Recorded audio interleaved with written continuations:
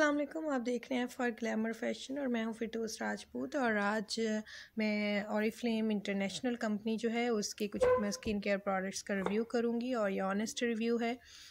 सबसे पहला जो प्रोडक्ट है ऑप्टिमल्स डे क्रीम है, जो कि मैंने ऑर्डर की टू मंथ अगो और मैंने इसको यूज़ किया और ये क्लेम करते हैं कि ये पोर्स को मिनिमाइज़ करता है डार्क स्पॉट्स को ख़त्म करता है और फेयरनेस लेके आता है। मतलब ये सारी इनका क्लेम है, लेकिन मैंने इनको यूज़ किया। ऐसा कुछ भी नहीं है। और ये इस कदर ग्रीसी है और ऑयली है कि ये ऑयली फे ऑयली वाले जो स्किन टोन वाले, वो तो बिल्कुल भी यूज़ नहीं कर सकते। मैं, मेरी ड्राई है और मैंने भी इसको विंटर्स में यूज़ किया। तो ये आप देख सकते हैं इसका कितना टेक्सचर लाइट है बट ऑयली है।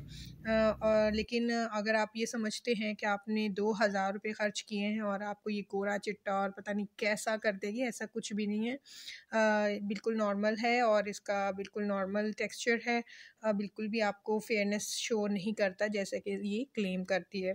तो और भी बहुत से प्रोडक्ट्स और फ्लेम के, लेकिन मैं ये रिकमेंड नहीं करती, मेरे तो बिल्कुल पैसे ही ज़ाया हो गए।